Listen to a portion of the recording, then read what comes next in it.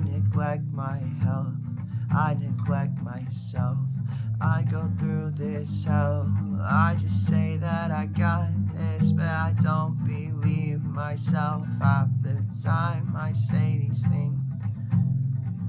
I hold my head up as high as I can, but I'm afraid that I might die if I close my eyes.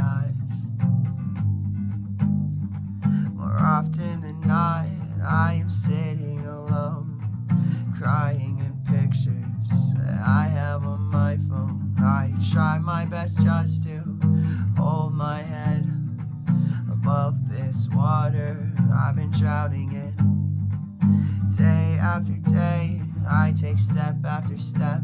I still end up in the same place in my head. You tell me all of these things that I already know. I am trying to change, I'm trying to show, but all that I can do is kill off this pain.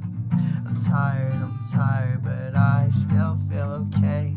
I sleep enough, I don't drink too much. I am only doing what I have said. It's alright for me, but it's not alright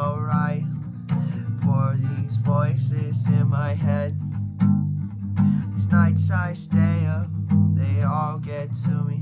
I'm tired of always assuming that life will get better without doing shit. And I've gotta get up and work for it. So I hold out my arm for a helping hand. But there's nothing to reach for, I just need to stand. just have to open my eyes and see.